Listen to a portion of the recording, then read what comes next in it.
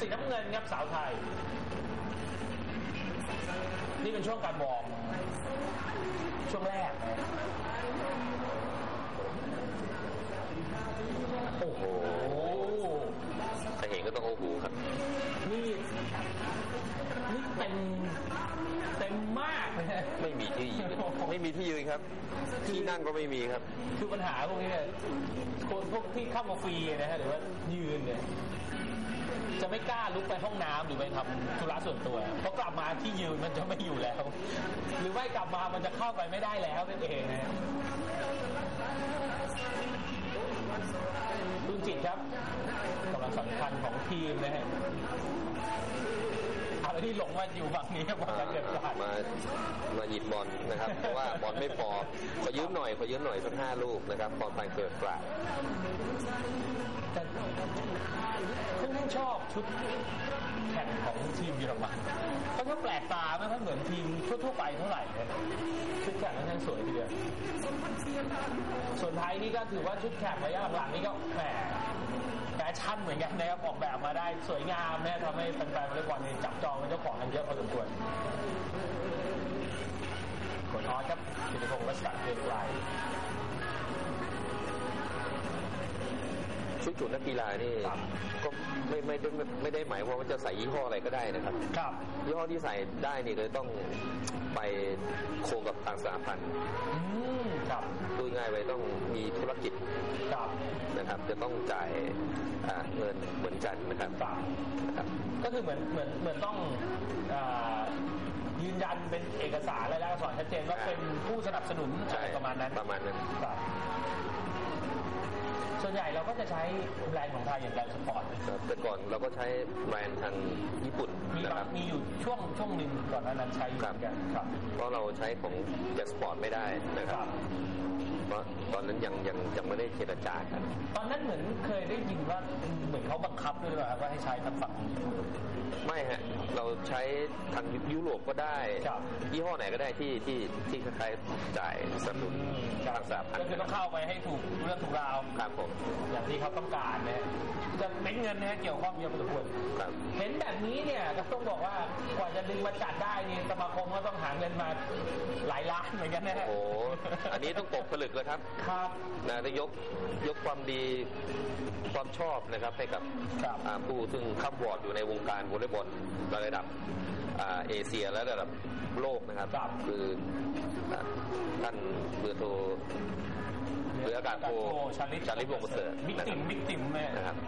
อาจารย์ติ่งของพวกเราได้เองนี่กับบรรยากาศครับดีๆนะครับ ในที่ทำมาฝากกันนะฮะในอินดอร์เอ่ออาจารย์นิพนธ์มองถึงดาวรุ่งชุดปัจจุบันยังไงบ้างครับความพันเกิดปลาดอัชรวรพงษ์ยศ หรือแม้แต่ถ้าดาวพิแจ้งเอ่อสำหรับ ก็ไม่เกิดปาดเนี่ยก็รอเวลา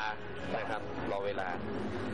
ถ้าลงตอนนี้ก็ได้อยู่นะครับ แต่ว่าเรามีตัวที่ดีดีกว่านั้นนะครับครับคือนุสราต้องคำเนี่ยผมเชื่อว่าอีกสามปี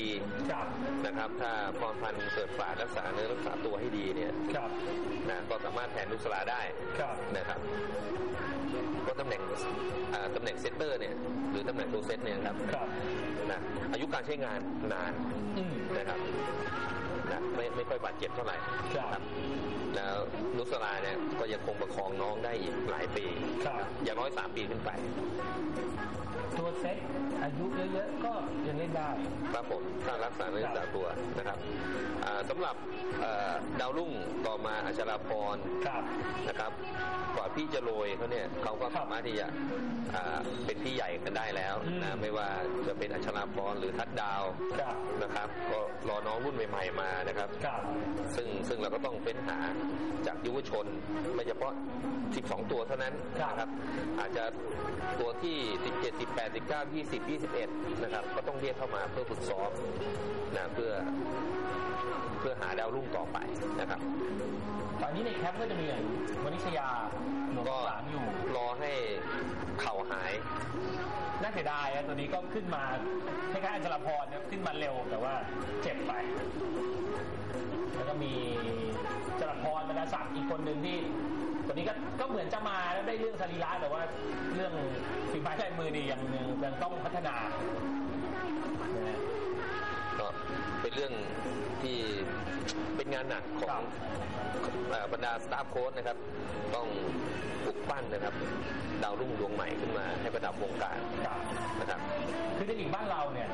นักกีฬาดาวรุ่งเก่งๆแจ้งเกิดขึ้นมาเยอะก็จริงแต่ว่าเมื่อมองถึงการพัฒนาหรือว่าการทำไปสู่ระดับโลกแล้วเนี่ยบางคนก็ขึ้นไม่ไหว เหตุที่ขึ้นไม่ไหว เพราะว่าเอ่อเรื่องการสร้างกล้ามเนื้อนะครับเรื่องการสร้างสมรรถนะสภาพครับเอ่อทางกายเนี่ยพูดง่ายว่าในในบ้านเราเนี่ยยังยังไม่ค่อยได้ใช้กันมากเท่าไหร่ครับนะครับ ถ้าแต่ละทีมเนี่ยมีนักวิทยาศาสตร์นะครับนักการทางการกีฬาเนี่ยไปช่วยแนะนำเอ่อ มีเงินเดือนมีอะไรต่ออะไรเนี่ยในแต่ละทีมเนี่ยแล้วก็สร้างกล้ามเนื้อนักกีฬาครับอ่าแต่ละทีมขึ้นมาเนี่ยอืมนะเกมการแข่งขันเนี่ยก็จะน่าดูยิ่งขึ้นครับนะครับทีนี่โค้ชเนี่ยยังยังต้องต้องทำหน้าที่หลาย ๆ หน้าที่อยู่ไม่ใช่เพียงแค่โค้ชอย่างเดียวคือสุดท้ายแล้วผมว่าเราต้องย้อนกลับไปเรื่องของสโมสรครับเอ่อก็ตัดเรื่องของ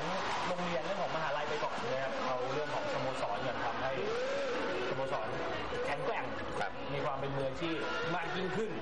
นะฮะก็น่าจะทำให้มีโครงสร้างในการพัฒนานักกีฬาในการพัฒนาสมรรถภาพของนักกีฬาเนี่ยได้เป็นเรื่องเป็นราวแล้วก็ชัดเจนมากขึ้นครับคือบางรุ่นเนี่ยต้องบอกว่าก็บางคนจริง ๆ ก็ยังเล่นด้วยฝีมือนะฮะร่างกายเนี่ยไม่ไหวเหมือนกันแต่ว่าฝีมือดี ก็พอเอาตัวรอดได้ในการเล่นระดับบ้านเรา แต่ว่าพอไปเจอการเล่นระดับโลกแล้วเนี่ยมันรับไม่ไหวนะฮะก็ถือ ว่าค่อนข้างจะสำคัญและที่สำคัญอีกอย่างหนึงเลยที่ก็ยังต้องย้ำแล้วก็พูดกันเสมอก็คือเรื่องงบประมาณและผู้สนับสนุนที่ก็เยอะไหมก็เยอะนะฮะยุคนี้เมื่อเทียบกับย้อนกลับไปสมัยที่อาจารย์นิพนธ์เองก็ดีเนี่ยเคยอยู่ร่วมบริหารอ่าเป็นผู้ฝึกสอนเนี่ยก็น่าจะเห็นเหมือนกันว่าเงินในสมัยเนี้ยมีการสนับสนุนเยอะขึ้นครับผมแต่ว่ามันก็น้อยเมื่อเทียบกับชาติใหญ่ๆหรือเทียบกับกีฬาชนิดอื่นๆในบ้านเราเองก็ดีนะ ใช่ครับ ก็ ครับ อยากจะให้หลายฝ่ายอ่าหลายฝ่ายเนี่ยครับนะสนับสนุนกีฬาซึ่งสามารถที่จะไประดับโลกได้ครับ